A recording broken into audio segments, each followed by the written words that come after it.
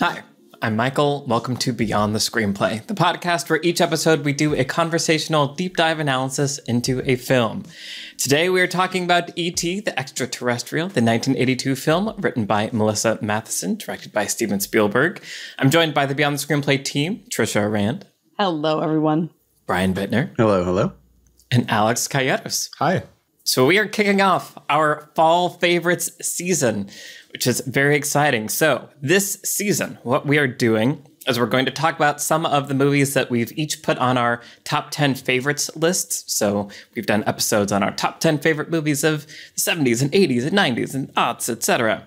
And so, uh, we've each chosen two from those lists and you know some of them are are classics that maybe the rest of us like wanted to see but never got a chance to check out some of them are movies that we never wanted to see, but are going to have to be. Some some of the time it's going to be both. Uh, but so we've each chosen two movies from our favorites lists, and over the next eight weeks we're going to be going through them, starting today with E.T. the Extraterrestrial, which was chosen by Tricia. So Tricia, why don't you tell us a little bit about E.T. Gosh, I love E.T. Um, E.T. is one of my favorite movies ever it really influenced me and the way that I think about storytelling, the way that I think about filmmaking. Um, it, it's quite possibly my first Spielberg, and um, you know, is one of the most beloved and critically acclaimed films of all time by most people. And um, no, and that just, felt that felt pointed. yeah, it's it's a classic. Um, it's a really interesting approach to a movie, right? It's kind of a high concept sci fi movie in some ways, but at its heart, it's this coming of age sort of family drama. Um, and it's really the story of like a friendship or, or almost like has a love story structure to it in some ways. Um, it kind of has these like fable, fantastical, magical elements in it. Like it's definitely not hard sci fi, it's just like kind of this imaginative um, story. And the writing is just beautiful. Like uh, long ago, I, I pitched a, a video to Michael about like symbolism and imagery in film, uh, and ET is just full of it. There are whole stretches of it that are wordless. Uh, we can get into it um, that are just relying on the, the cinematic um like language and yeah symbolism and these things uh to really convey what's going on and yeah, it's just emotional. It's beautiful. It taps into childhood things. And I can't wait to talk about it with you guys. Nice. Yeah, I I didn't remember the there's there's a section where I believe the mom is reading the Peter Pan story mm-hmm. to the and I feel like that was a really important like key yes. part of understanding kind of what this movie is going for, the feel it's trying to create, the kind of wonder of this sort of childhood world in which you don't see adults' faces for like the first hour of mm-hmm. the movie. Like it's very pointedly trying to inhabit the world and imagination of like children. And so, yeah, it was interesting revisiting it after having been resistant to the idea, resistant being a soft word for how I felt. uh, and yeah, having forgotten so many of those things I also just rewatched Stranger Things recently and yeah. realized, oh, oh, oh, this yes. is this. I see. Yeah, ah, okay. From here. Yeah. Uh, borrowed, um, yeah, aggressively. Uh, so yeah, so I like appreciated all these things that I didn't even, I think, consciously know or remember were part of the tapestry of this movie. It's still the 80s. It still looks super 80s. I have problems with 80s aesthetics. I feel like this movie is isn't for me and probably never will be for me and we can get into some of that if we if we want but it was just fascinating to to see what it actually is versus like my childhood memory of it which was just kind of like there's the Tootsie Roll alien and Drew Barrymore is screaming and there's scientists like walking through like a big tube into the house for some reason and then he in goes space home. suits and spacesuits. like, actual yeah. NASA spacesuits. Yeah. yeah. Yeah. Yeah. Honestly, this was like even weirder than I remembered it being. Sure. It's pretty weird. It's very weird. Like kind of insane and unhinged in so many ways. Um, but it's interesting and we'll we'll get into it more. as we go on. Alex, what are your thoughts on ET? I'm surprised, Michael. I thought we were, we were going to hear about trauma because I have some childhood trauma from this movie, and maybe mm. I was projecting onto you. But this movie, I did watch, I think, multiple times as a kid. I have very strong sense memories from it. And I mean, I, I think I liked it in the kid way where you kind of just like all movies.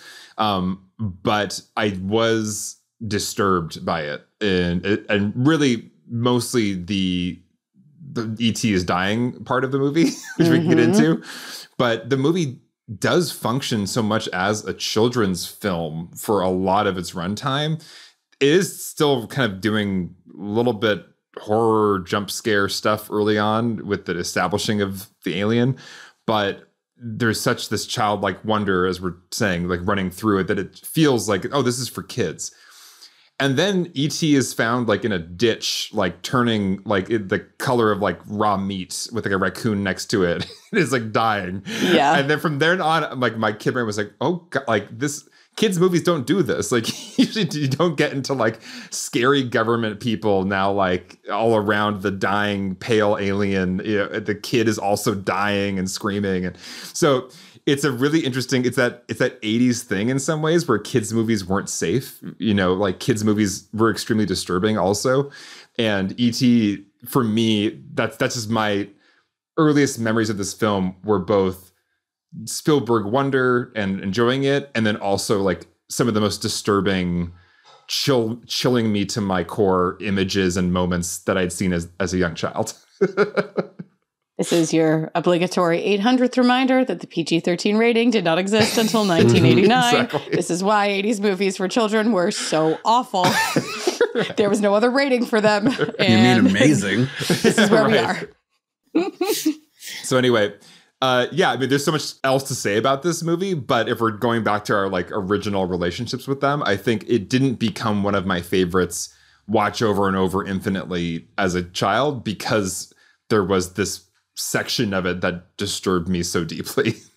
um, and I think yeah, it's it's interesting to watch the movie again, and I still feel that discordance with the movie, where I do think there's something about the the the the leaning towards high hard sci-fi of like a government intervention and what would actually happen if an alien specimen was recovered. It's still kind of fantastical, and the Peter Coyote character is kind of very lovely in a lot of ways for being the like ominous government agent.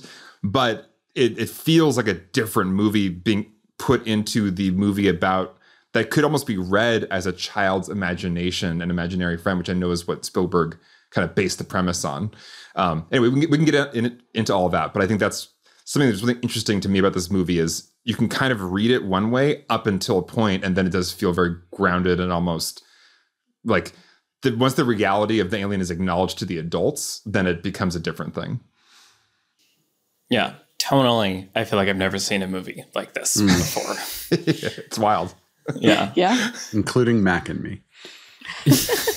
Mac and me. Uh, Brian, what about you? Yeah, definitely a, a formative kid movie for me. Um, definitely a movie I watched a lot at that age. I, I think E.T. and Jurassic Park have a lot in common for me, which is love them and watch them a lot as a kid and teenager, and then just kind of didn't continue a relationship with them. Um, where like there's a period of maybe 15 years where I watched them once or twice over that time. But then the great thing is b- both of those movies coming back to as a like adult plus um, and and being like, oh yeah, this these movies are doing so many smart things that I didn't appreciate at the time. So it's kind of whereas you know you watch Goonies as an adult or something, you're like, what is happening? this yeah. movie is insane. Um, but I feel like um, I, I feel like rewatching ET for the first time in a while was was I was just like, oh yeah, I remember the kid wonder that I had at the time and just like the fun of it. Like this movie is likes to have fun when it likes to have fun. I wasn't as scarred by the dark stuff as other people, and, and in fact was probably like, yeah, it's metal.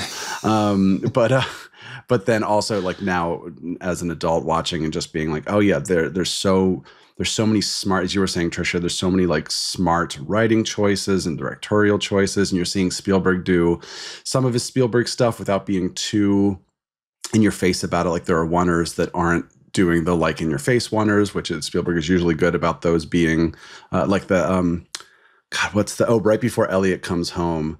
Uh, when she's at the mom's at the fridge and then the guy's there interviewing and it's like it's all just one frame but there's so many different things going on and then elliot is revealed uh, behind the, the fridge door and everything it's just like um, close the door why is the door open for so long you're letting all the cold out uh, my partner does that, and I'm always like, just close it. Like, it's not, doesn't Does she reveal a child every yeah, time? Yeah, exactly. Because that would be. I'm always afraid someone's going to show. um, uh, so yeah, really, really excited to get into it. And you know, Tricia, knowing your thing about symbols, I was just tracking that and being like, oh yeah, look at those, look at these flowers, look at them, you know, look at these keys, look at this candy, like the things that are just like right there in your face in ways that are kind of inviting you to to draw meaning from them. Um, so yeah, looking forward to getting into it. This episode is brought to you by Mubi, a curated streaming service dedicated to elevating great cinema from around the globe. From iconic directors to emerging auteurs, there's always something new to discover. With Mubi, each and every film is hand selected, so you can explore the best of cinema streaming anytime, anywhere. Out now from Mubi is The Substance the Substance is a tour de force and visionary shock to the system by director Coralie Fargeat. It was the winner of Best Screenplay at Cannes and the Midnight Madness Award at TIFF. And here to tell us more about it is our very own Alex Calleros. I went and saw Substance just kind of on a whim the other week uh, by myself, which was perfect. because this movie is wild. Uh, I really loved it. Uh, it's got a fearless Demi Moore. Uh, as starring as a former A-lister who's drawn to a mysterious drug which promises to generate a younger, better version of herself. Uh, the way that self is generated is very body horror. So this is not a movie for the faint of heart. But this movie is executed with such like a sharp wit, this really dark comedic sensibility, and the performances from Demi Moore and then Margaret Qualley, who plays kind of her younger, better self. So funny, so perfect.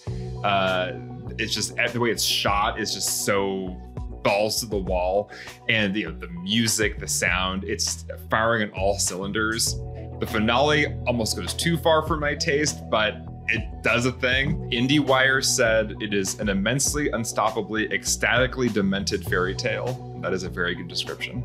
Cool. Okay. Well, visit trythesubstance.com for showtimes and tickets. And to stream great films at home, you can try Mubi for free for 30 days at mubi.com slash beyond the screenplay. That's M-U-B-I dot com slash beyond the screenplay for a whole month of great cinema for free. Thank you to Mubi for sponsoring Beyond the Screenplay. All right, well, let's do it. Well, yeah, so symbols since we're here do you want to talk about symbols in et and yeah brian's already mentioned the flowers which i feel like are really good clear one kind of a litmus test that kind of let you know how et is doing and how you're sort of supposed yeah. to feel throughout which kind of helps ground you it's the back to the future polaroid sure um, yeah. yeah no I, I think that when you are especially if you're doing like sort of a fairy tale or again tapping into this um you know older story form. You know like if you think about a fairy tale you think about cinderella like here's a glass slipper here's um you know a, a poisoned apple. Here are these like magical objects that for some reason we connect with and associate with right? They become iconic images um because they have meaning within the context of the story. And they like uh represent obviously larger ideas. That's all symbols are, right? They just represent other things, something that represents something else. Um, and if you are are telling this kind of a story about childhood um, and you're borrowing from sort of fairy tale ideas, there's nothing smarter that you can do that than like adding those in and establishing them early on. Um, I think the flowers is an interesting one because it actually doesn't come in until essentially midway through the movie, right? Gertie grabs the flower pot and puts it on uh, the wagon as she's going to visit E.T. and Elliot in their room. And like the flowers are already dead, but we don't really see them before that. Um, of course, the flowers are already dead.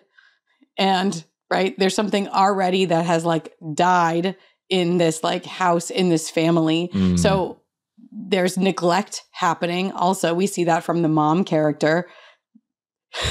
this time around watching it as a parent now mm. i was like she literally like gertie i've got to go pick up elliot from school just watch tv honey and like leaves her four-year-old like right. in the house the by 80s. herself i know it was the 80s but but there is something very purposefully neglectful about the mom character right where she's in the room with et several times and doesn't notice him because she's doing other things, right? Um, like, so there is something very pointed about, even though we don't think of her necessarily as being a bad mother, there's something very pointed about that neglect. Anyway, the plants have died. All of this to say, right? The mom is so wrapped up in her own emotional distress, which is valid, right? She's going through a divorce, but still, things have fallen by the wayside. Gertie grabs the plants, the plants have died. Um, and then ET's presence into their life is reconnecting them. Um, it's interesting again that Gertie is the one who brings that in. When we first meet the siblings, they are fractured. They, you know, um, the older brother is always picking on on Elliot, and both of them are like ignoring Gertie or treating her like a burden. And then the more that they ET um, unites them, uh, or gets it wrapped up in their lives, the more they start talking to each other and they are honest with each other. Um, until the very end, when like the older brother and his friends, who the first time we meet them are picking on Elliot, then become like his protectors and saviors in the last like third of the movie. So the flowers are a symbol of all of that um, that is being brought back to life in the life of this little boy and in the life of this family. And then when ET dies, again, we're f- afraid that we're losing that. So I don't know. To me, it's like if you want to just read the flowers as being a symbol for ET's health, I guess you could, mm-hmm. right? Like, but there's so much more to them. That's what symbols are, right? Or they have the potential to be. They can be layered. Um, and I think the flowers are, yeah, probably the most prominent one in the movie. But there are others, as you mentioned, Brian. Like, um, there's candy. There's something playful about candy, right? Um, like how you lure a pet into your house is to give it candy, and um, it lowers our defenses against like the danger of ET, right? Like this is not a horror movie. You don't lure the horror monster into your house with Reese's Pieces. Like it's so it's there's something about the choice of candy again that's very childlike. This is what a kid would do, and um, you know you can kind of like parse that apart if you want to. And there are a variety of other things. The keys work really well as just like a we're not going to show you this guy's face, but we need to distinguish him in some way. Here's some keys. Mm-hmm. We can hear them, we can see them. That's all you need. It's all just smart storytelling. His name is Keys on IMDb. I know. Yeah. yeah. yeah. It was interesting thinking about the connection to Hook, which I yep. guess came out several years after, but felt very much in the same wheelhouse to me. Actually, like watching it this time, and Hook, I was obsessed with as a kid, watched over and over and over again, but is also a movie, you know, about childhood, about a neglectful parent that's fantastical and has a kind of weird tone, and that like the dark things and the disturbing things are dark and disturbing. Like there's this weird mis like combination of maturity and childlike wonder that I feel like is found in both of those films. And yeah, so it was just interesting to realize that that was so much of a thing of that Spielberg was interested in and how much of that was was put into this movie, which you can see in the execution as well as the writing, but the, the filmmaking as well. For sure. I mean, it's something that runs through all of Spielberg's f- filmography is he has this deep connection to just childhood emotional experiences that he's somehow carried with him into adulthood. You know, you, you just feel in movies like this, like he's still on a, like a gut level gets these kind of uh, hard to put into words, hard to describe just childhood feelings of being kind of like alone in the house when your parents aren't home and you're up to something and it's kind of a, exciting and magical and he's finding this kind of sci-fi uh, vessel with which to explore these kind of nostalgic things that we've lost as we grow up. We we can't go back here anymore, and he's replicating them in these movies through the kid actors and through the situation. And, and I think that's also um, juxtaposed with the complexity uh, that's going on in these movies too, which is like I always think of like the family dynamics of like everyone talking over each other all the time, right? He does that in Close Encounters, he does it in Jaws. It's just like it's too much. There are too many people talking, there's too many things happening. Um, and then also with the darkness, you know, the the the the, the whole third act of this movie really um is like you don't get you, you sort of don't earn the joy unless you bring all of the all of the the ick you know? And i and i feel like that's the thing. There were, weirdly i was reading that the studio was when when spielberg pitched the movie the studio was like oh that's just like disney like family blech, like it's like too safe or it's too whatever. And i'm like man imagine in the age of like our disney overlords and you know marvel and all this kind of stuff yeah. that like that they were like oh it's too family friendly it's too kiddish or whatever right? And then and then ironically it's like et is the movie where like oh my god can you believe how like how hard that, that crisis goes and like how like scary and everything it is? Um and i feel like there there is that is kind of what Spielberg does that I think a lot of other kid movies from this generation don't do quite as much is this sort of feeling of like there there is an adult feeling to all of this. There is a complexity to this. There is a darkness to all of this. But then within that comes the joy and the wonder and and the sort of the breath of fresh air that you get from some of these these really lovely moments. Well i think and you could also argue that you know Spielberg and connecting to his childhood and the intensity of the emotions he felt, you know, childhood includes these incredibly intense emotions that are dark and scary. And you, you, if you confront death or confront a loss in your life, like as a child, that's like extra heightened and extra disturbing. Um, and so in some ways, it's like we're like, oh yeah, this this shouldn't be in a kids movie. That's too dark. But you know, life is life, and kids are exposed to dark stuff in life, and disturbing things happen in their own lives. And it's interesting how yeah Spielberg's especially his 80s kind of childhood wonder movies aren't afraid to go to those places and it almost seems like he's interested in exploring those places through the lens of a child.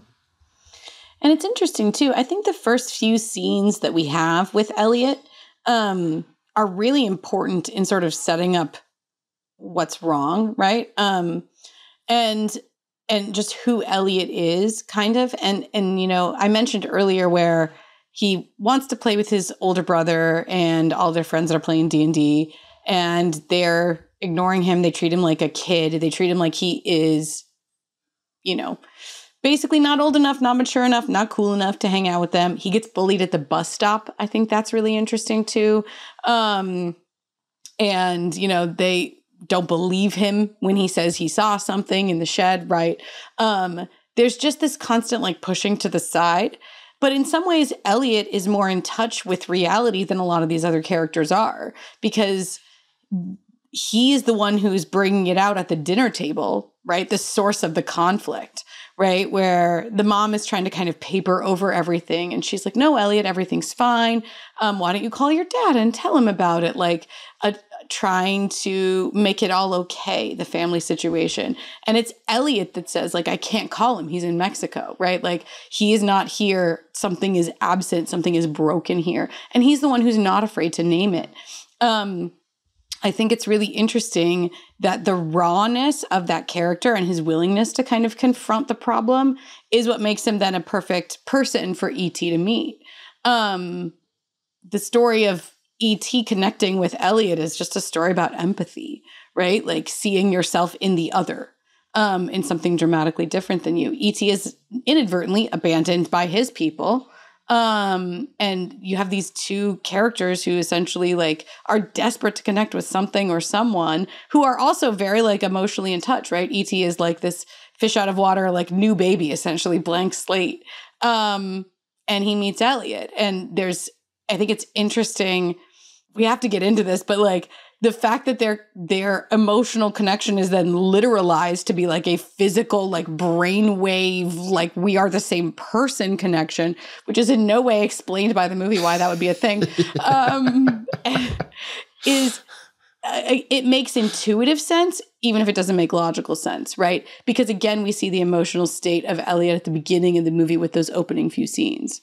Yeah, that sequence was hard for me. the, Uh, the, the beer drinking uh, classroom. Yeah. The classroom. the frog. Yeah. It's very Act Two fun and games. Like Yeah.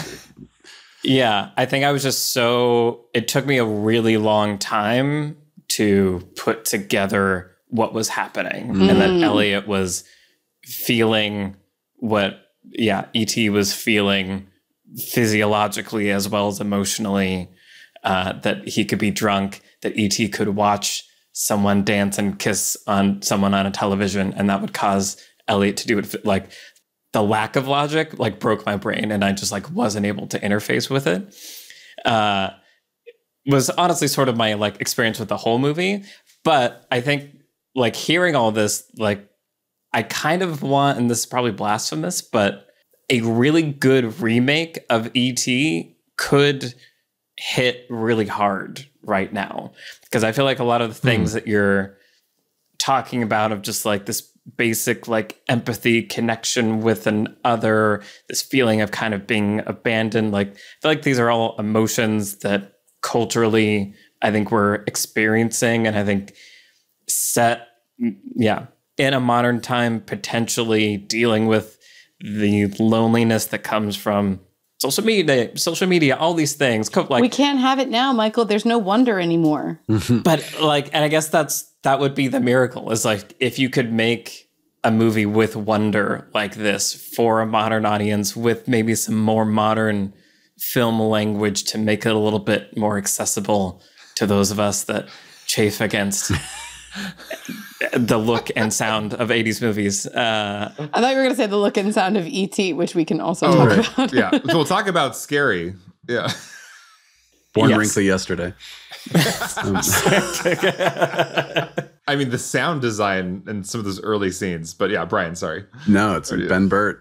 Ben Burtt, Ben ladies Burtt. gentlemen. Yeah. Um, yeah No, it's funny. Like, this is kind of tangential to what Michael was saying, but this sort of what you said, Tricia. There's no wonder these days. I was thinking about the sort of long first act that movies could get away with when we hadn't seen these movies yet, right? So it's like, if oh my gosh, there's an alien and we're meeting it, and everyone around us is meeting it, et cetera, et cetera. Oh my gosh, I am developing superpowers, or oh my gosh, I'm that whatever these movies were that it was like when we hadn't seen these movies before, you could spend a really long time alien, right? You could spend a really long time building up to what's happening and what's coming. But now we've seen all those movies, and then now it's like it's hard because now it's like, oh, we just want to get to the good stuff. We want to skip all that stuff, right? And I'm not saying movies are doing that, but it's almost like if you pitched a movie like, oh, an alien shows up and if, and meets a family and whatever, it would be like, okay, like not just because we've seen ET, it would be like, but then what? Then who do they battle? Then what's the, you know what I mean? like, like what's the, what's the big thing? What's the, et cetera, et cetera, et cetera? Because you can't get away as easily. I'm not saying it couldn't happen, but you can't get away as easily these days with just a very small story about one character meeting a few other characters and like that's kind of and then there is this these bad guys closing in kind of thing but but even even without that there's just so much drama and conflict and dramatic question and wonder to be had from just et meeting elliot and meeting the family that i feel like i don't know if you can do that these days and, and compel people the same It'd have to be like a micro budget indie. yeah Yeah. There's no in between.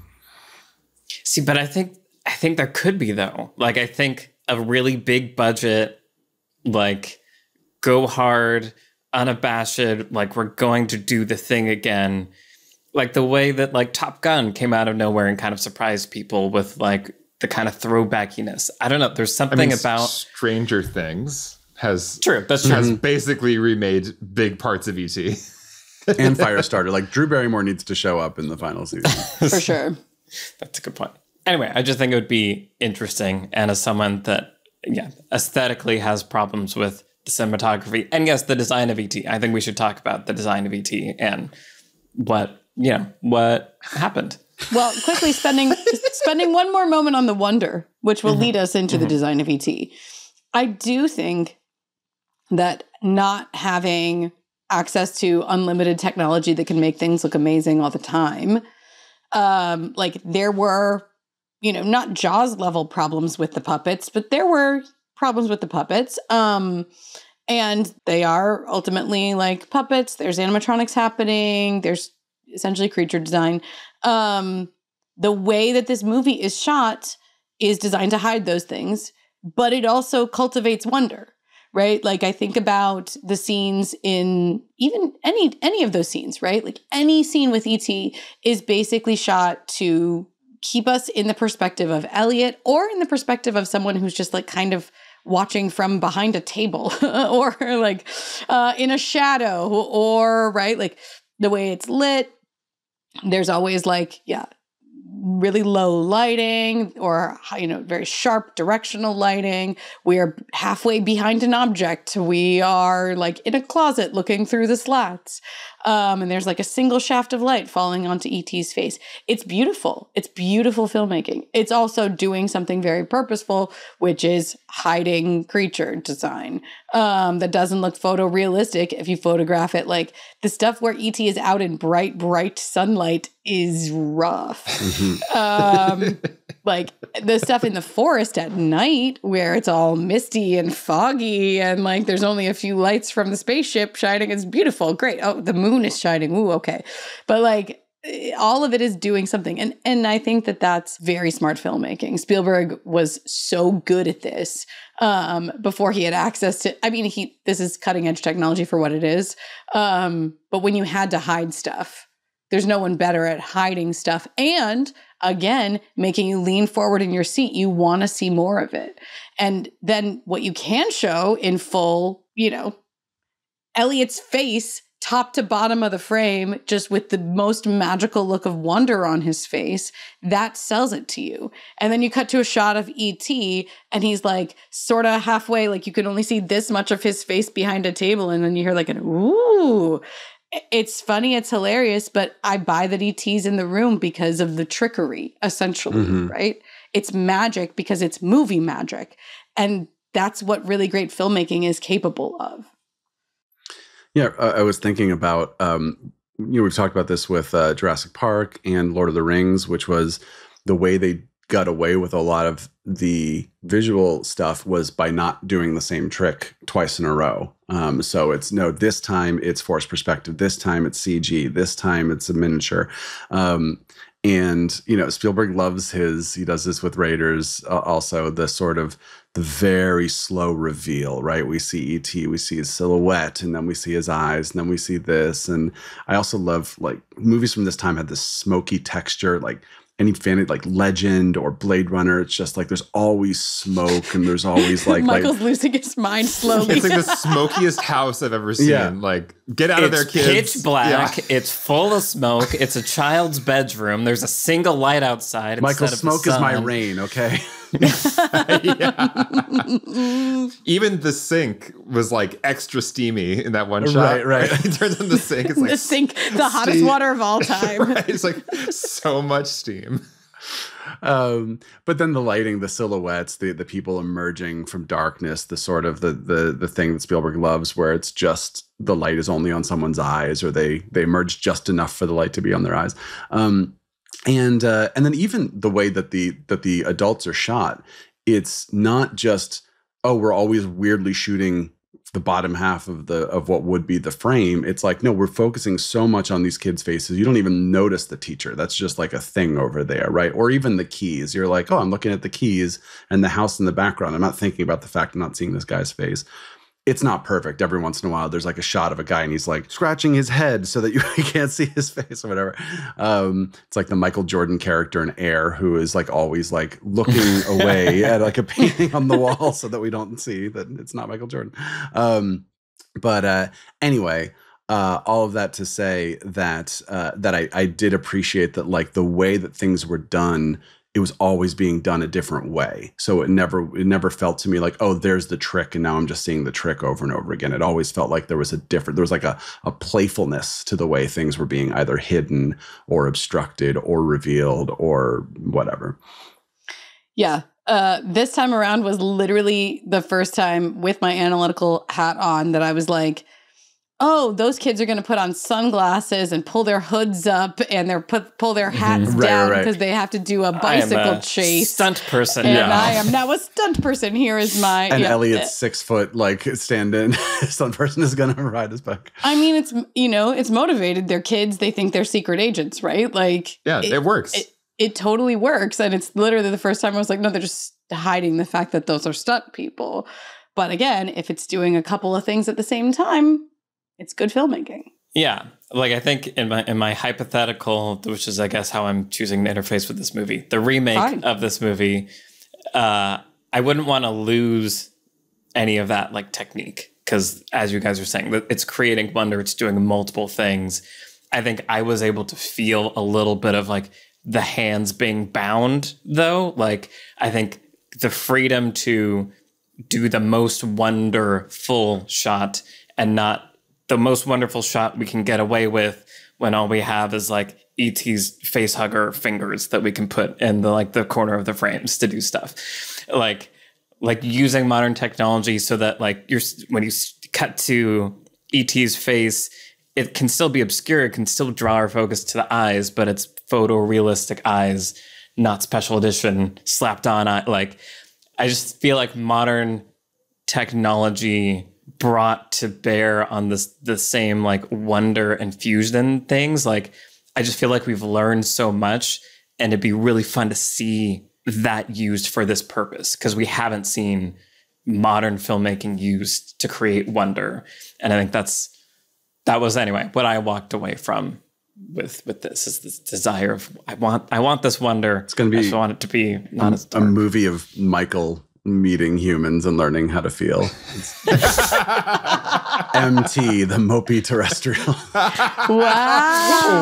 I Right. like it. Wow, like. Um, Alex, you looked like you had a thought. Yeah, well, we mentioned um, the way the adults are shot, and it was it was a thing that it's both, and this is also a product of just like this is made in 1982, and we're so cynical, and I've seen everything now, but it was almost a little too much for me in the beginning, where it's just like we're so aggressively shooting all these men in silhouette and only the flashlights and like it's cool at first and i'm like okay i get what you're doing here. You know and it, it helped me identify with et more than humans which i thought was very smart. Like we begin with these plant collecting kind of little you know nature guys and and then hu- the humans Yeah, what are they doing here? i think they're just collecting plant specimens They're just collecting specimens. Yeah. They can't walk, but they can make a spaceship. Okay, continue.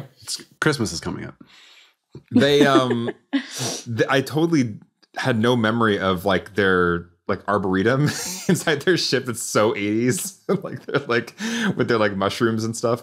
But anyway but uh but the opening sequence i i liked what it was doing because i understood okay i'm i'm with the alien. Humans are actually scary in this movie. Um they're kind of the danger the bad guys. Uh but then it just it in that kind of a little bit on the nose Spielberg way, just the way there's so much of like all the men in silhouette are now marching up to the thing or marching up to the house, or like the way they were walking down the street, you know, rolling the things. That's that Yeah. shot is wild. It's just like it's just like there's something that's like a little too much. Yeah, yeah. Um, where it's like it, it feels like this era of Spielberg where he's still a young director is just like he's he's flexing. He's he's bringing all these images and techniques from all these classical films, these noir films that he loves and has studied. And so I appreciate it and I get what he's doing, but yeah, I I I can feel there's a little bit of a try hard sometimes um, that comes from being an amazing young filmmaker who's like flexing and, and discovering your film language. Um, but I think in those cases, it was like I both am appreciating Spielberg and also feeling like, oh, like you're still young in in kind of a way that I can tell like you're doing a thing really hard versus kind of having faith that you can kind of do it with a gentler touch and it will get across the same emotion. Does- Do you, do you guys have that feeling watching this that there's kind of like an early Spielberg try hard, or is that just me? Compared compared to like later films like Jurassic Park. Don't ask or- Michael. Yeah, I'm leaving room for others. yeah, It, it's hard for me to know what's early Spielberg and what's 80s gonna 80s right. sure. personally. Yeah. Yeah. Uh, that's kind of what I was going to say, which is just, yeah, there's like a, an aesthetic here that is of its time. Um, I do think you are right. Spielberg was, was I believe, like 32 maybe when he made this movie. So young. Um, but uh, yeah, I do think that there is it. It makes sense that a modern viewer would bump on some of these techniques because they really do call attention to themselves, Right. um, in a way that we kind of like don't like anymore. Right, Um, and like that's just like a poo-pooed now. taste thing. Yeah, exactly. Um, we should probably get back to the creature design really because I do think it's wild. Like, you know, it has become iconic now, and like I haven't really thought about it in a while, but watching it this time, I was like, I'm sorry. You went with you could have picked anything, right? Like that's the thing is that you're making up an alien species. You can you can make them anything, um, and you're trying to sell us on this connection between this little boy and this alien. Like it's a story of this deep love and friendship, and like again empathy. Um, and you went with this, and it's like humanoid but upsetting um the, the and neck. goofy Yeah. like in addition to being just goofy as hell uh and i I don't know i'm like astounded in hindsight that it works so um maybe i've aired all of michael's gripes or do you have more michael I want to hear how Michael feels about the designer, but just all his unvarnished thoughts. Well, no, yeah. I mean, I, I think you've you captured it, but I, but I think it, it is interesting that clearly it works. Like clearly, you know, this is one of the most successful movies of all time. It moves people, does all these things. I feel like, and maybe this is a little bit of the the young directorness that you were feeling, Alex. I, I felt like there was a lot of bold, lucky decisions mm. made in the making of this that probably would not make any sense on paper, but when all combined in this way, created something that was like special and unique. And so I think the design of ET, while I agree is upsetting and prevents me personally from having any emotional connection to it whatsoever, I think still is does this like it makes the empathy of the kid stronger Mm-hmm. I think, and I think it it ultimately is in service of the the arc that is happening in a way that if it was just like a cute fluffy little bunny with big ears and big Right. eyes, I just want to kick in the face. Like I don't think it would have worked in the same way.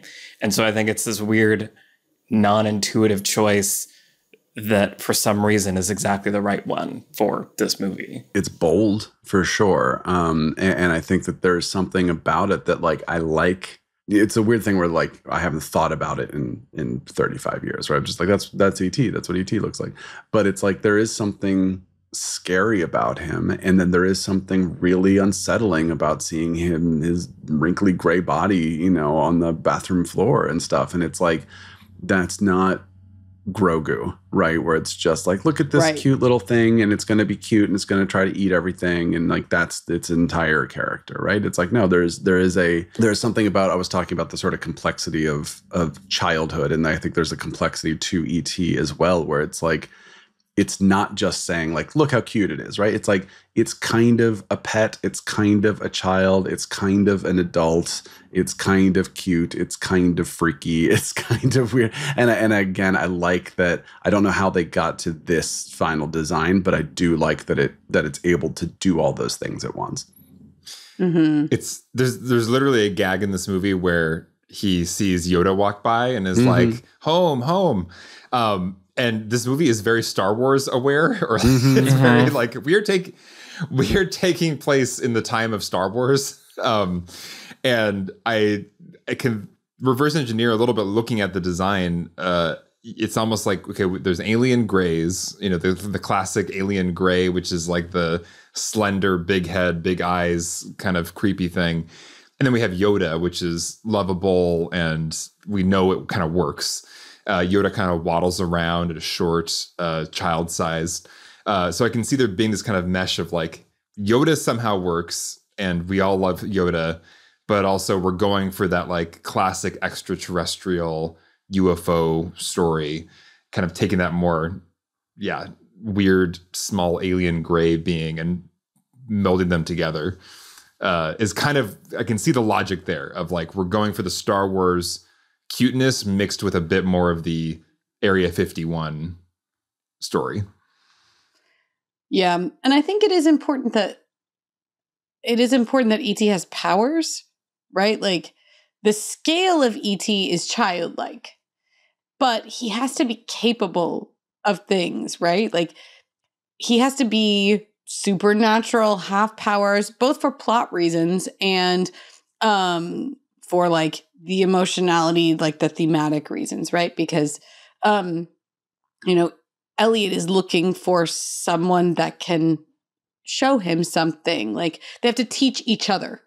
And so if you had some kind of creature that was completely vulnerable, um, like a pet, right, that you had to like feed it constantly and depend, like it depended completely upon you, then you kind of lose that reciprocal empathy, right? Where it's like in some ways, ET is really advanced.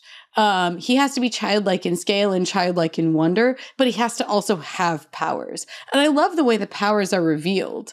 Um, like, you know, he first starts to read really you know, quickly, and we kind of, it's interesting that sequence that breaks Michael's brain, but like, it, it is showing us something crucial in terms of expository work where it's like here's what et can do right? Like when he's home by himself he can read a whole book. He can explore his environment in certain ways. He can start to learn to speak. All of these things and then like we see eventually like he can levitate things right? Like he can heal things um all of these things come out of that middle act where it seems like it's just fun and games and it's hiding the fact that it's setting up other things um but it's also doing character work for the relationship where we buy in more to it when we realize that ET has something to offer Elliot. Um, and that's really tricky to handle also and wrap into the design, right? He can't be too human like, or then when he's levitating stuff, we wonder how it, he's doing that. Or like when his chest lights up, or like the other supernatural powers he has. He has to look other enough and it's just this really fine tightrope to walk that I think the movie does really spectacularly. It's interesting thinking about that middle act again. Um, going back to my feeling I mentioned earlier, where this movie can almost be read as maybe kind of like you can read it as an imaginary friend, as an, an expression of a childhood transition up until the adults know about him, and then it's like very real. Like there's there definitely is an alien here, and they're studying it, and it has different DNA than us, and all this all these scientific facts come out. But I think there's something about ET's magic that you know, if if we were to remake this film today, I would almost want to somehow preserve the possible reading of the film as non-literal because even his phone home device makes no sense whatsoever. it's a saw and like a you know a record player a record, yeah. and a fork, yeah, yeah. and an umbrella, an and, umbrella, yeah. yeah. Definitely the best way to transmit a signal to outer space. Um, but it's the, it's exactly what a kid would make to send a message to outer, outer space, and so there's something beautiful about all that because it's it's it's like that's what I would have made as a kid in my fort with my brother to make a you know space transmission but this movie asks us to also believe, you know, he actually sent the transmission using this device and the ship did come and respond to it. Um, and so, yeah, there's something about his magic and the way ET manifests in that second act that, yeah, I would, I would be curious to see a version of this movie where you could conceivably read the entire thing as a transition happening inside of Elliot and you know all it's all allegory and then there's there's a resolution at the end but the adults never find out about et you know it was all amongst the kids and they've changed but the adults kind of don't get involved. Um, and in some ways i think the movie would have worked better for me on, on this viewing if that was the case because then there's not that schism in the the worlds and the rules of what actually makes sense here. I love that little tiny moment where elliot tells gertie like adults can't see him only little kids right? right, and then of course it's just a it's just like a joke where then gertie goes like give me a break.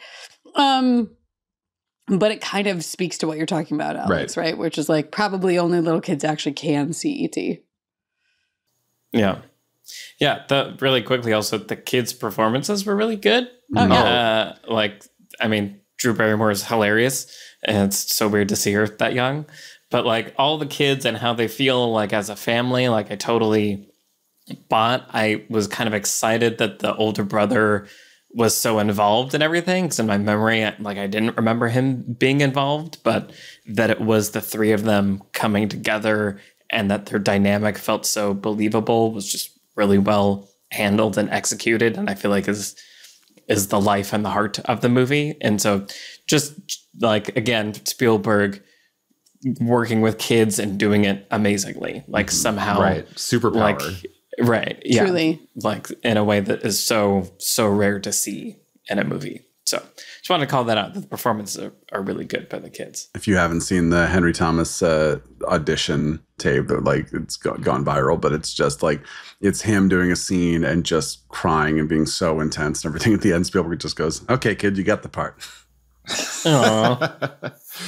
No, yeah, that that that tape is crazy because it's like like who is this kid that feels so deeply? He's just Right. like tears are just flowing from his face as he does a monologue. It's wild. Well, and again, like you have this relationship, and the central relationship of the movie is between a human actor and a puppet, right? And you have to really, that's the whole movie. You have to sell us on it completely 100%. Right? The crisis, the climax, it's all about the relationship between these two. Um, and I feel like the human side of that just has to be rock solid. It has to be like you have to have Elliot standing in that framed in that circular window of the tiny casket that they have ready for ET. um With the dry eyes. Yeah. yeah, I, it's and and like even even before that, right? Like screaming while he's like on the table next to ET and like trying to get out of the the the people who are restraining him and everything. Um, it all has to be real for the character. Um, and I think there are a variety of ways that directors work with children, and children can be professional actors in the way that everybody else can. Um, but this movie was shot chronologically to help the young actors like stay with the emotional arc of their characters and and in the story and i think that that's really smart. Um and yeah i just i can't reiterate enough how maybe having an actual physical puppet to look at and interact with even if it's not photorealistic is probably going to get better performances out of your actors especially if they're young. Children can get uh, emotional with a stuffed animal um, that is not in any way interacting with them. If you give them any kind of puppet, even if they can see your hand in it, it's going to be better than what you're going to get otherwise. Yeah, when I think about why is that sequence so disturbing to me as a kid, you know, the the whole hospitalization sequence, a lot of it is Sure. Elliot's performance, you know? It's course. because it's so raw and so intense and so, you know, disturbing. and it's just you, you don't see that many you don't see that often. You know, like child performances that are that raw and that emotional um that don't have that kind of sense of like I'm a kid who's acting really upset, but I'm not, you know, I don't I don't feel it. Yeah, yeah, and I think even for me that had trouble interfacing with ET as an entity because of the performances, like you were saying, Tricia, I believe that these people care about this rubber thing in their kitchen, and they care, so I care, and like it's enough to like take me on that emotional journey. So that's that I feel like for sure stands the test of time, which is good. Humans always good. Yeah, we are. Why don't we go around and say what lessons we're going to take from ET? Brian, do you want to start us off? Uh, sure. A pretty simple lesson about just people finding things out is exciting to watch.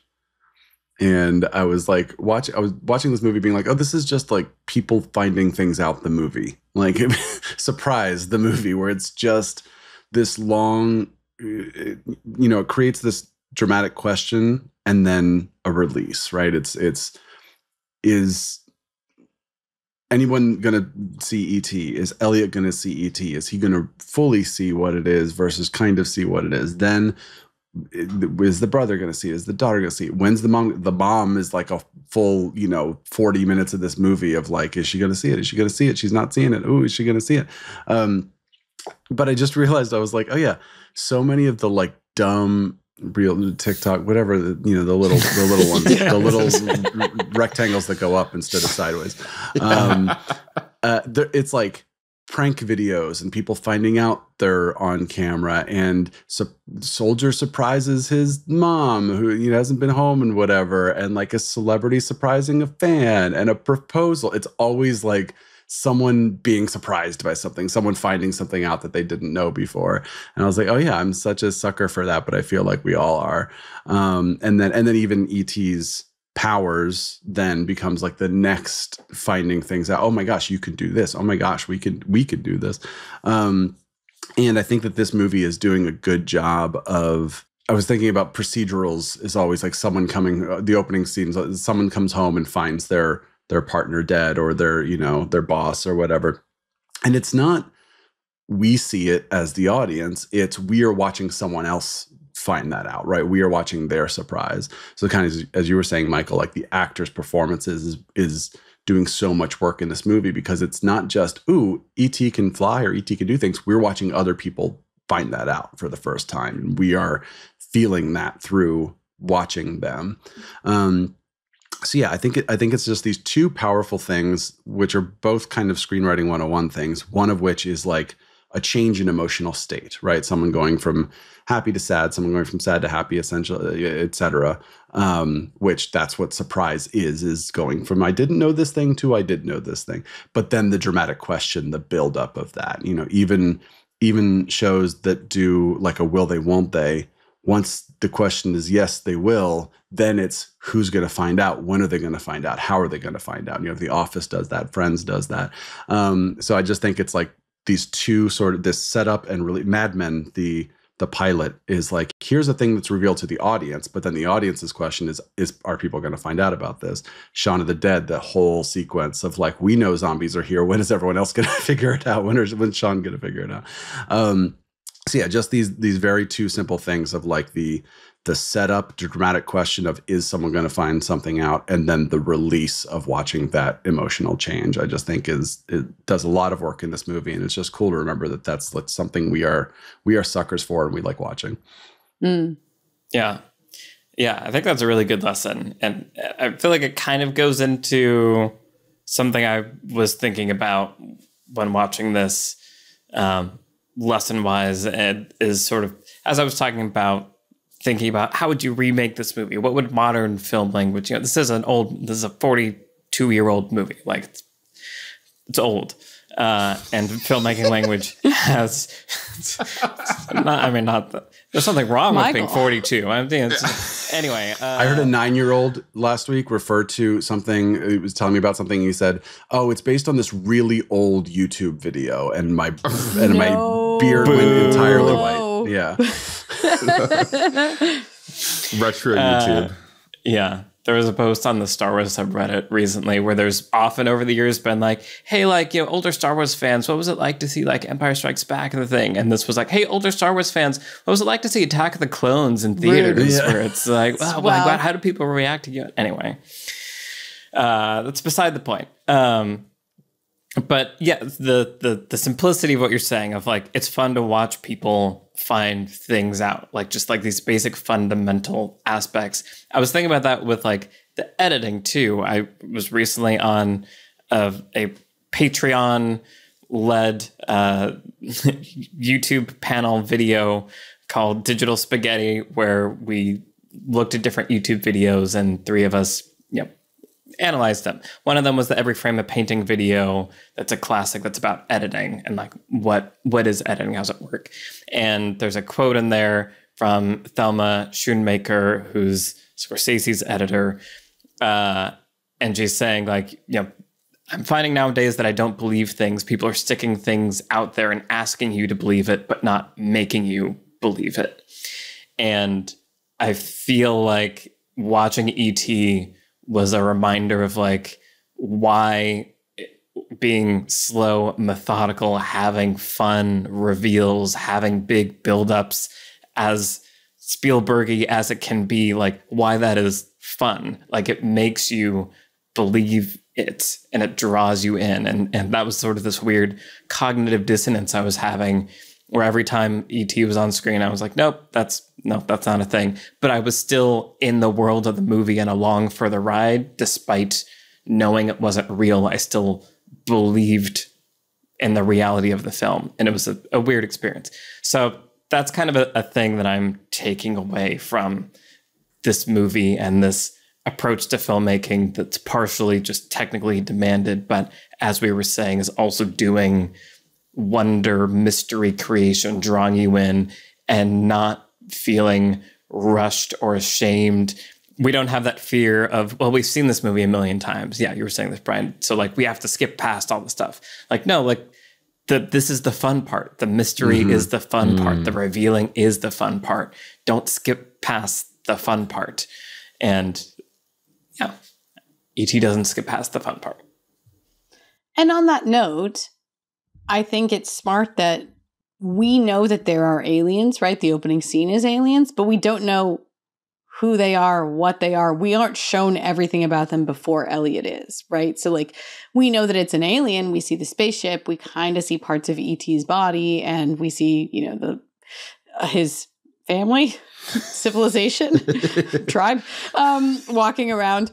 But again, it doesn't tell us everything, right? There's a lot that that holds back. So that then seeing Elliot figure out some of the more specific things about ET and then discover him as well, that's still fun, right? That there's still reveals to be had. Um, and also, it's the right amount of time.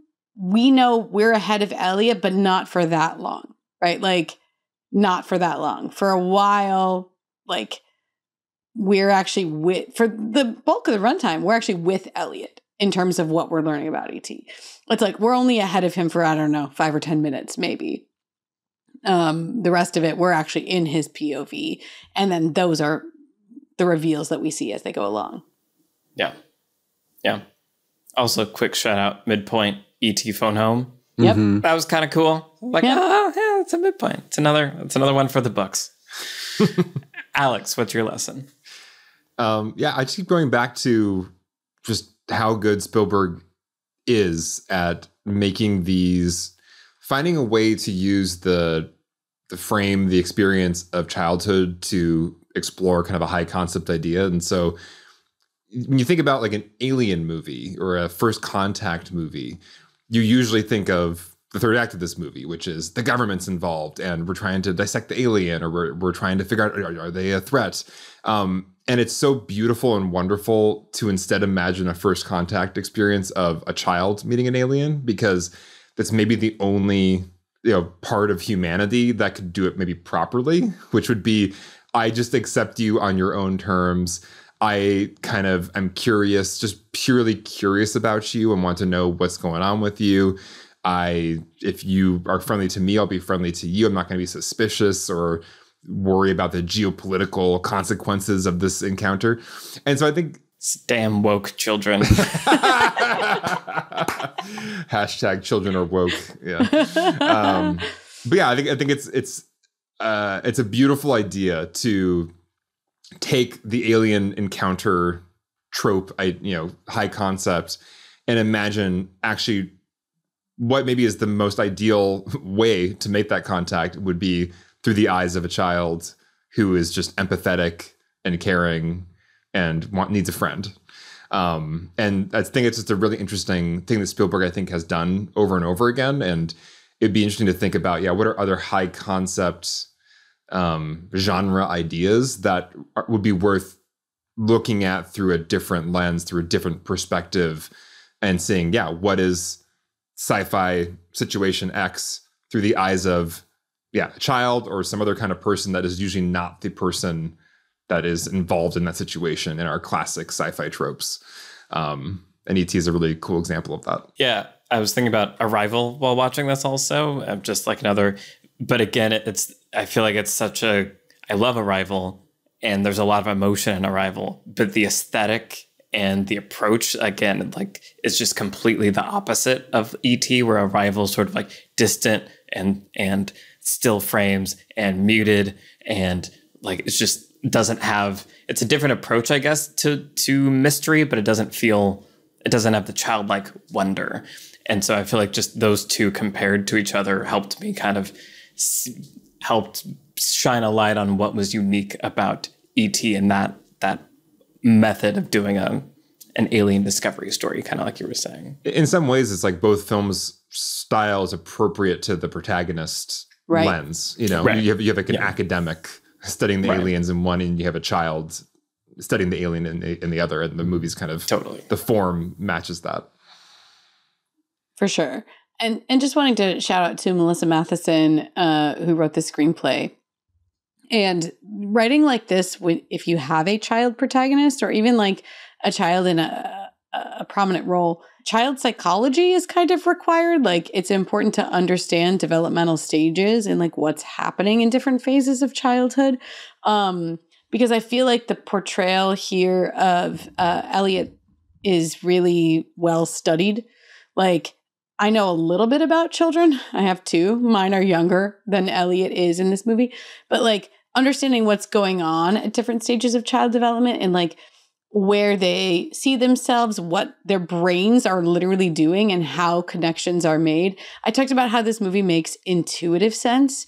And I feel like what it's doing is directly tapping into the exact sort of developmental stage that Elliot is in in this, where like he has a younger sibling and he has an older sibling. And the specific stage that he's in is really different than Gertie's. It's also really different than Michael's, right? Um, and I feel like there's a really strong um, sense of like Elliot's longing to be younger, longing to be older and seen as older and seen as mature and able to handle things. But also, he has all this innocence and wonder. And also, yeah, he's like specifically doing this thing where, you know, the scene actually, I was thinking about it this time around with the the old movie.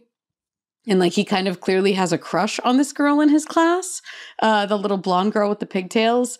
And I, I feel like or sorry she has a headband. But um there's something really specific happening there where like he's really too young to have gone through pu- puberty yet right? So he can't actually have like romantic or sexual feelings for this girl. But there's like almost um a role playing that's happening where like he's connecting with her because of the movie and because of like the way that he sees adults interact. And like again it's it feels like it's exactly tuned to where that character is. Um and i just think that that seems so well researched and observed. And i just feel like I don't know. I don't see a lot of examples of movies like this that are are quite as good at being like, here's what it's really like to be in third grade. Mhm, Not younger, not older. Third grade, the movie. something I was just thinking about recently is is I think it's interesting to think about at any given age, uh, especially in, in childhood, like how far in either direction can they go?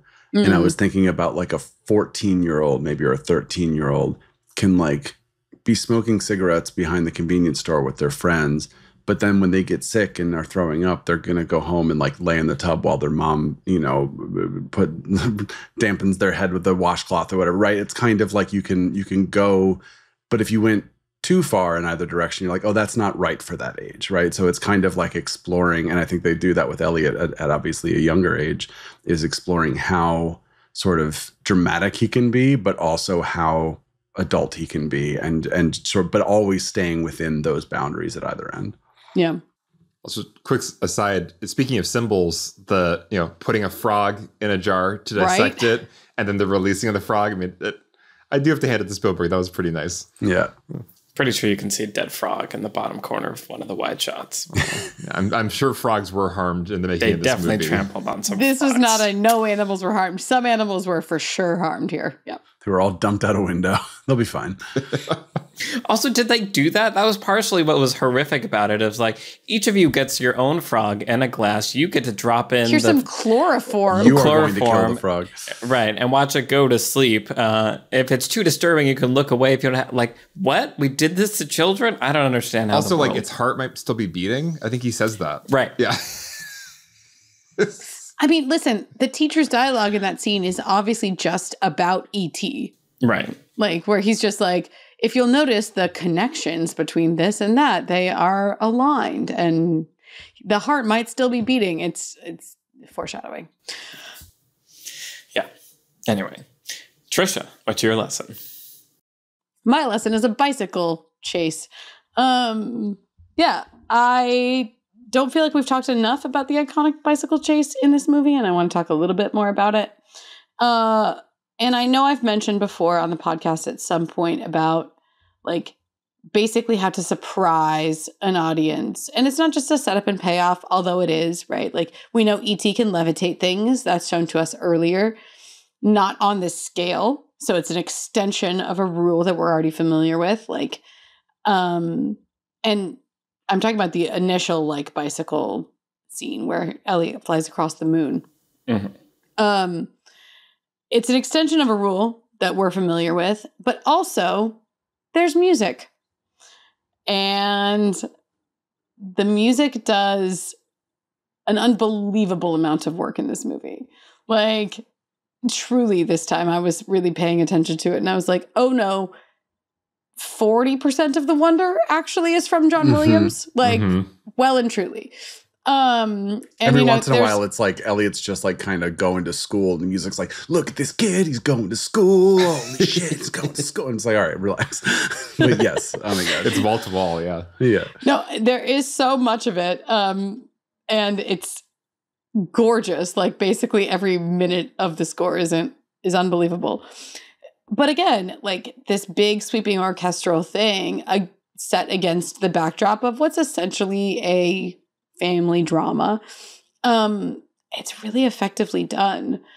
And I guess Hire John Williams can't be my lesson. Um, I guess it could be my lesson. I mean, hurry just- up. Yeah. yeah. Is he taking gigs anywhere? Yeah, he probably isn't taking gigs. Oh, he's only 92. He's got a Listen, if Spielberg decades. called him up, he'd do it.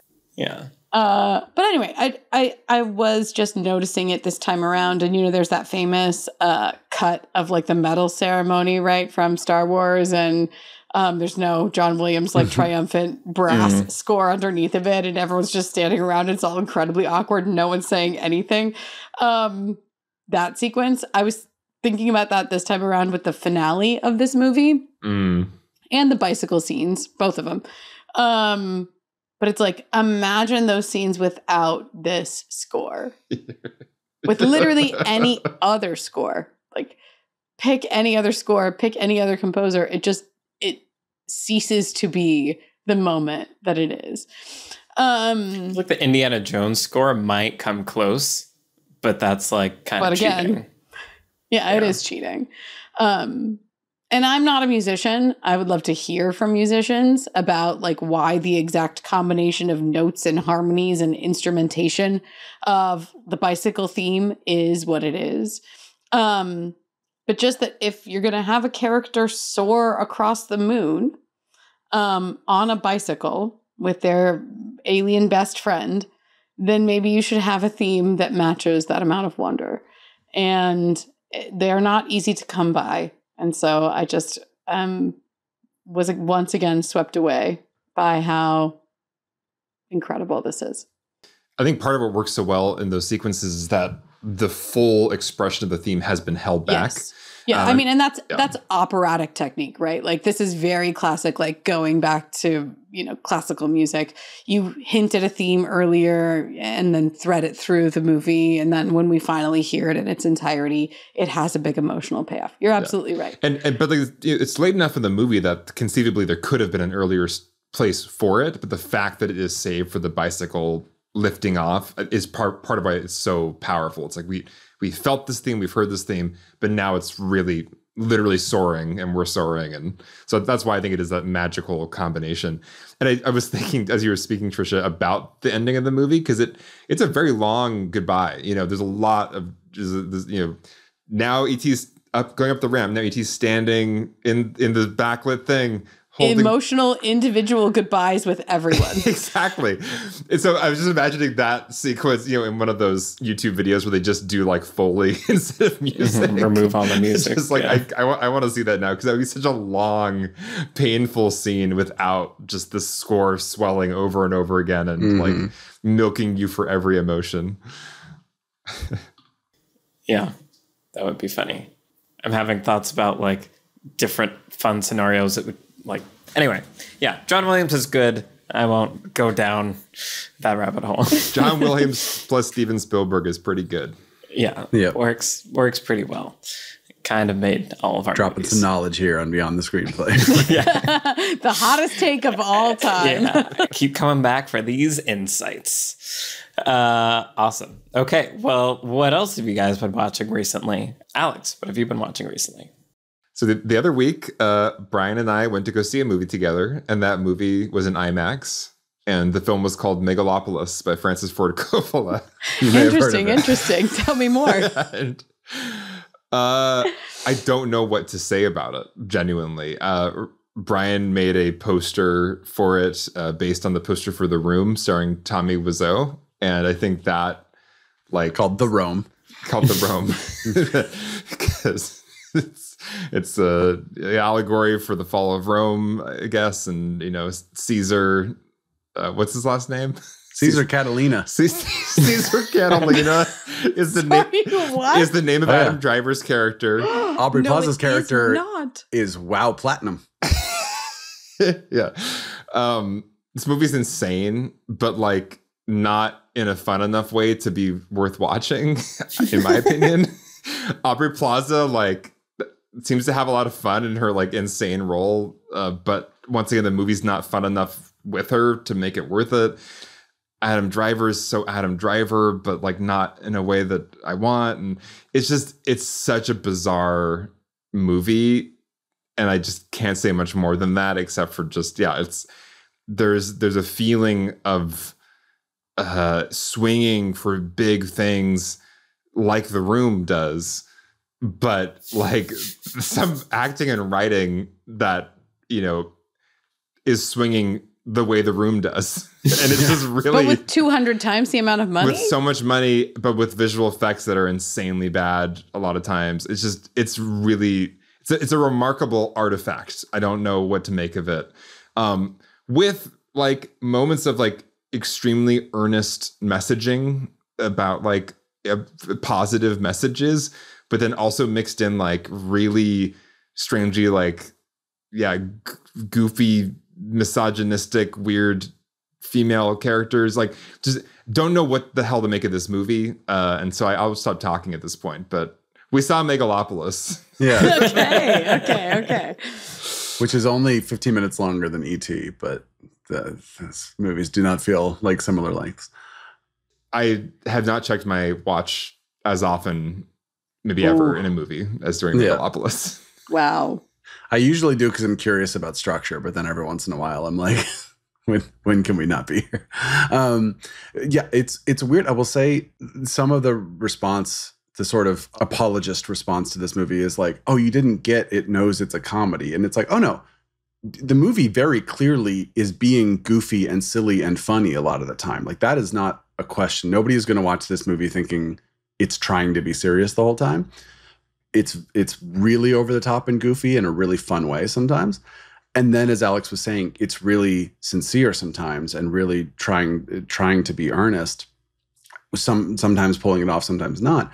But then there's this whole middle ground where it's like, I don't know if I'm supposed to think this movie. We're all laughing, but I don't know if we're supposed to be at this scene because it's not it's not earnest enough to be earnest or good enough to be to, to make me care but it's also not goofy enough to be goofy so i don't know Yeah. what the hell i'm supposed to be feeling right now. And that was the weirdest part was just yeah. was was the not knowing. The whole Oh thing's an uncanny valley where it's it's like okay cool if this is like an interesting satire strange fever dream movie i could get on board with that but like it's not funny enough to be funny but it's it's kind of trying to be funny but it's not funny anyway it's it becomes a whole lot of nothing and it's remarkable megalopolis Sounds like we should do a, a season of what we're watching on it and watch it. Melissa Mathison was in a relationship with Francis Ford Coppola for like a long time. Interesting. And she married Harrison Ford. Better, Wow. Nice. probably. Step up. um, Francis Ford Coppola apocalypse now crossover uh, played one of the doctors in the ET scene. i Uh, thought i recognized Yeah, that I doctor thought it was like, that looks like Yep. francis I was Yeah, like, I was that's like, so that's a director. so I don't know that for sure, but exactly. This is my point. I mean, they were, yeah, they were. Uh, cool. Rude. Tricia, what have you been watching? Um, I'm pretty sure I haven't talked to you guys about it, but I saw a movie I really liked called The Taste of Things. Did I tell you guys No, about you this haven't. movie? Ooh, I can't wait to tell you about it.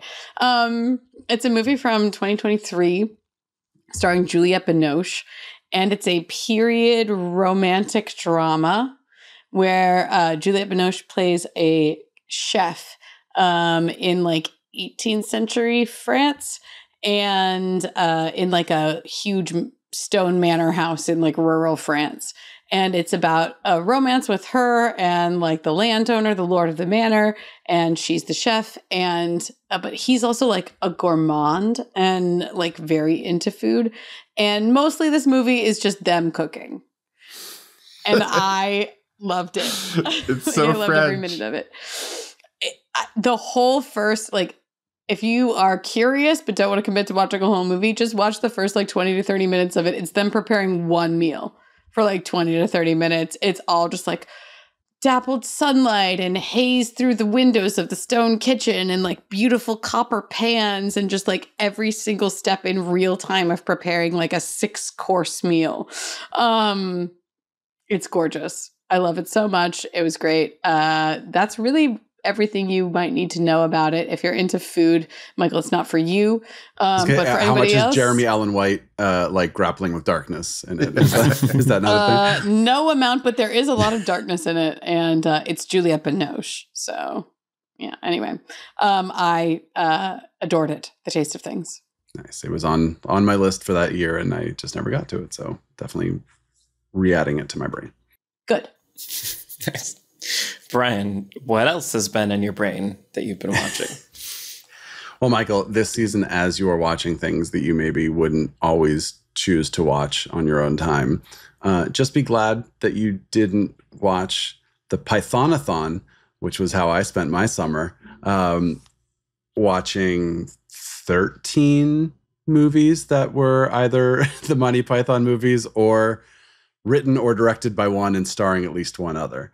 So if you are keeping track of all of our What Am I Watchings at home, get ready because I watched Monty Python and now for something completely different Monty Python and the Holy Grail, Monty Python's Life of Brian, Monty Python's The Meaning of Life, Monty Python Live at the Hollywood Bowl, which has a Glendale reference, uh, Monty Python Live, parentheses mostly, uh, the John Cleese written A Fish Called Wanda and Fierce Creatures, the Eric Idle written Splitting Heirs, the Terry Gilliam directed Jabberwocky and Brazil, and the Terry Jones directed Erik the Viking and Absolutely Anything. The end. Why? Because I wanted to. My partner wanted to. And What's was the best one? uh, probably a fish called Wanda of all of those. Oh, no, Brazil. Brazil and a fish called Wanda, I'd say, are the most. The Monty Python movies are definitely an acquired taste. And even for someone like me who loves them, there is a feeling of just like, okay, there's like, there's just a bunch of skits that are kind of being held thinly together by a plot here. And sometimes they work better than others. Um, so it was, it was interesting to watch the, the tangential experiments that a lot of these guys have done. Splitting Heirs with Eric Idle and Rick Moranis is a completely insane movie and Catherine Zeta Jones, but I watched it a bunch as a kid. So I was really excited to rewatch that. And absolutely anything, which is Simon Pegg as someone who gets like Bruce Almighty powers. Um, and then all of the surviving pythons play the aliens who give him those powers and are deciding whether or not they should destroy the earth depending on how he uses them. It's not a good movie. Um, but it was fun, and Robin Williams plays the voice of a dog, and that was his last role. So, yeah, it was it was it was a time, and I enjoyed my time. I like the way Brian does these kind of themed movie marathons is the way I like binge like side quests in a video game where it's like I'm not am I enjoying these side quests? Do I need to do these side quests? It's but it's satisfying that I checked all the side quests off and I did them all. Right. That's that's at least how I imagine you you, you do or the satisfaction you're getting from from these uh tasks. I feel like Bry's just clearing his notifications. right, right. Yes. Yeah. Everything has been read. Oh, yeah, No. You're a very specific kind of person, Brian. I know. You should see my inbox. It's very it's very small. Fall favorite season. We are all different people. We're all different people. Well, I'll keep with that thread. I was gonna maybe talk about the Penguins, which I've started watching, but I only watched the first episode. So I'm gonna wait, watch the next couple, good. report back in a little bit.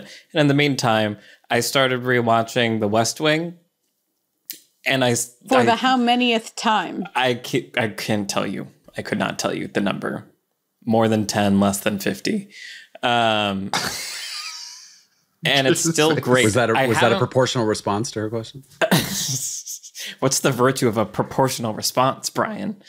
We've already done that episode. So good. Anyways, episode two is post hoc, ergo propter hoc. Like this show comes out swinging. Anyway, it's been really fun to revisit. I was pretty worried that it wasn't going to hold up for any number of reasons. And there are definitely certain things that are aging for sure. Uh, but I was impressed by it made me nostalgic for this era of television. And Alex, you and I have talked about this a lot recently, but just like 42 minutes, people are going to watch commercials. You have to keep everything moving and interesting and get cliffhangers in there and hold people's attention, which is the opposite of like, we need you to keep paying us money for two and a half months. So we're going to make this show as slow as possible and prolong the plot unnecessarily, which is like what all the streaming services are doing. So I just love how tight and clever and fun every episode is, and the blending of humor and drama and the performances. My God, the performances. Anyway, so I still love The West Wing. Uh, oh, I love how Michael talks like a West Wing character when talking about the West Wing.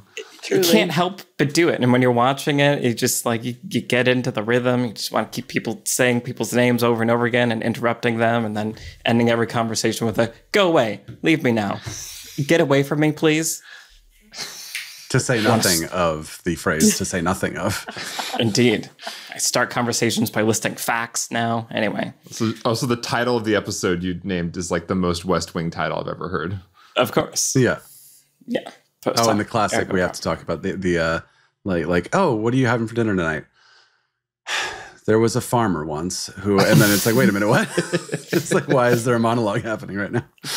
And just Toby's dry thing, and Josh is just okay. Like he just anyway, it's so great. So well that's what I've been watching. That was not bad at all. Yeah, very I've good. seen it a lot. you think Uh, it's another one? this has been our conversation about ET. Michael Uh, hijacked my favorite thing to talk about his favorite thing. what the hell? no, everybody. Can't Anyway, spell so West Wing without ET. All right, go ahead. We're, we're gonna get out now. So this is the beginning of our fall favorites season. Just the Uh, beginning. just the beginning. Uh, we want to say thank you to the patrons as always for making this show possible. And if you want to help us make more episodes, head over to the Beyond Screenplay Patreon. You get ad-free versions of every episode, and you get access to Patreon exclusive episodes like next week's episode on Mulholland Drive. Season might kill me. Uh, thank you to our producer, Vince Major. Thank you to our editor, Mike Wuerth, and the whole Nebula Studios team. I'm Michael Tucker. I've been joined today by Tricia Aurand, Brian Bitner, and Alex Calleros. All of our Twitter handles are in the show notes. Send us a tweet and say hi, and we will see you in the next episode for our discussion of Mulholland Drive. Bye, everybody. Phone home. Ouch.